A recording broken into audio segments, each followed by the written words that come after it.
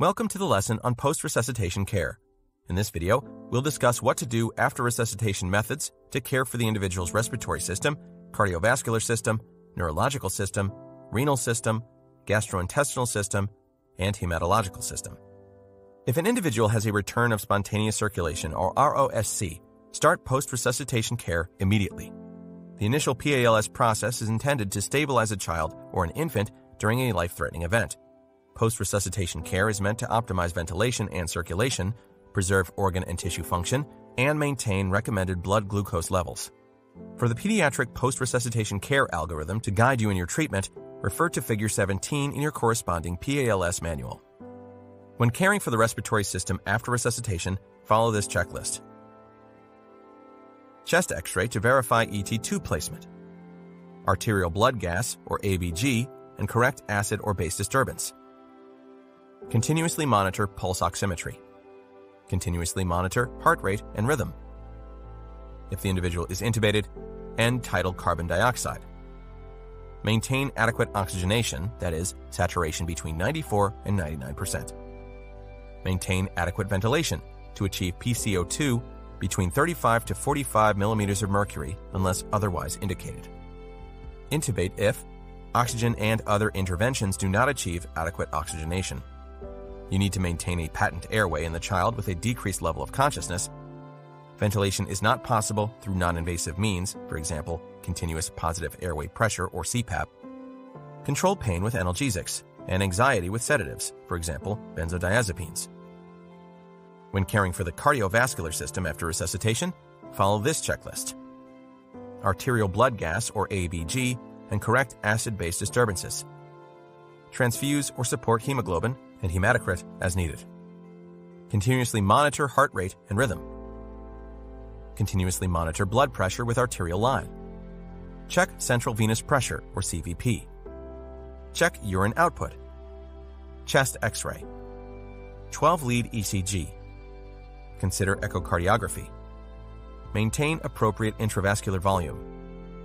Use vasopressors and titrate blood pressure to treat hypotension if needed. Continuously monitor pulse oximetry. Maintain adequate oxygenation, that is, saturation between 94 and 99%. Correct metabolic abnormalities, chemistry panel. When caring for the neurological system after resuscitation, follow this checklist. Elevate head of bed if blood pressure can sustain cerebral perfusion. Maintain temperature by avoiding hyperthermia and treating fever aggressively. Do not rewarm hypothermic cardiac arrest individuals unless hypothermia is interfering with cardiovascular function, and treat hypothermia complications as they arise. Maintain blood glucose by treating hypo and hyperglycemia. Hypoglycemia is defined as less than or equal to 60 milligrams per deciliter. Monitor and treat seizures with seizure medications and by removing metabolic and toxic causes. Continuously monitor blood pressure with arterial line maintain cardiac output and cerebral perfusion. Normal ventilate unless temporizing due to intracranial swelling. Perform frequent neurological exams. Consider CT and or EEG or electroencephalogram. Keep in mind that dilated unresponsive pupils, hypertension, bradycardia, respiratory irregularities, or apnea may indicate cerebral herniation.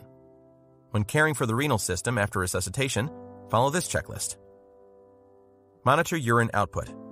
Infants and small children should urinate more than 1 milliliter per kilogram an hour. Larger children should urinate more than 30 milliliters an hour.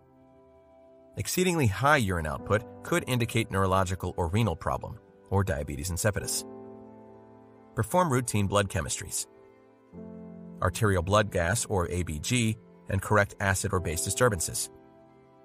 Urinalysis when indicated maintain cardiac output and renal perfusion.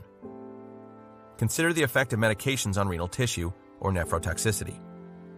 Consider urine output in the context of fluid resuscitation.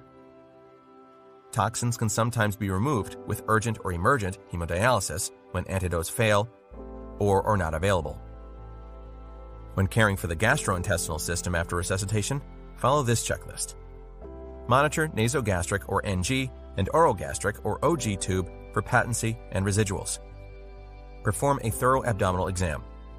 Tense abdomen may indicate bowel perforation or hemorrhage. Consider abdominal ultrasound and or abdominal CT. Perform routine blood chemistries including liver panel, arterial blood gas or ABG, and correct acid or base disturbances. Be vigilant for bleeding into the bowel, especially after hemorrhagic shock.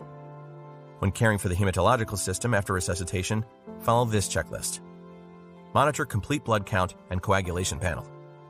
Transfuse as needed by correcting thrombocytopenia.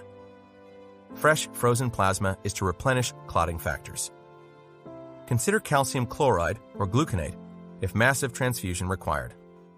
Correct metabolic abnormalities or chemistry panel, especially after transfusion.